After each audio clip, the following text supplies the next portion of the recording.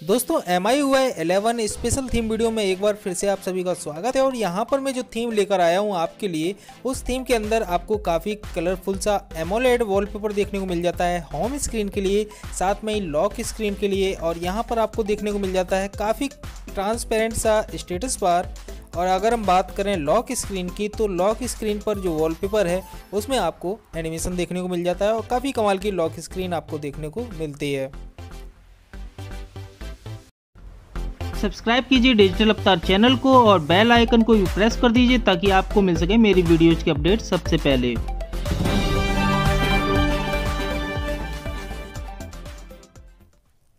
तो दोस्तों, अगर आपको इस तरह की थीम में इंटरेस्ट है तो ये थीम आपको एम आई थीम ऐप पर सर्च करने से आसानी से मिल जाएगी। यहाँ पर मैं आपको दिखा देता हूँ ये थीम कौन सी है।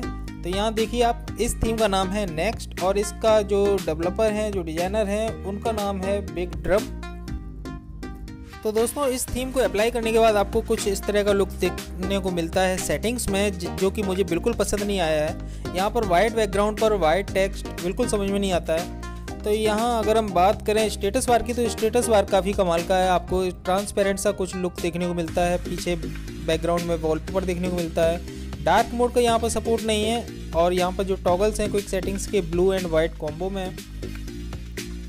और यहाँ अगर बात करें डायल पैड या डायल पैड की तो यहाँ पर आपको काफ़ी अच्छा सा लुक देखने को मिलेगा।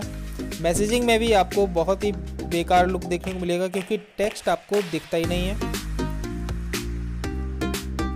अब यहाँ बात कर लें लॉक स्क्रीन की तो लॉक स्क्रीन पर जो वॉलपेपर है, उसमें एनिमेशन आपको देखने को मिलता है, और काफ़ी कमाल का लगता है ये एनिमेशन। और यहाँ अगर हम राइट स्वाइप करते हैं स्क्रीन पर तो आपको एक और यहाँ पर शॉर्टकट्स मिल जाते हैं, काफ़ी काउंटडाउन है वेदर इन्फो है, इस तरह से आपको अलार्म है फ्लैश लाइट है।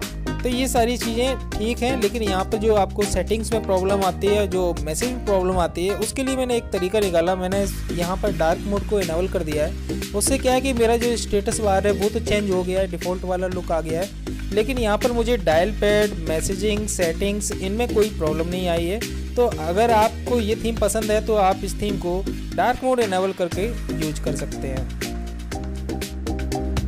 तो आज की वीडियो में दोस्तों बस इतना है। अगर ये वीडियो आपको पसंद आया है तो इस वीडियो को लाइक कर दीजिए शेयर कर दीजिए। और अगर अभी तक आपने मेरे चैनल को सब्सक्राइब नहीं किया है तो चैनल को भी सब्सक्राइब कर लीजिए, क्योंकि मैं आपके लिए इसी तरह के वीडियोज़ लेके आता रहता हूँ।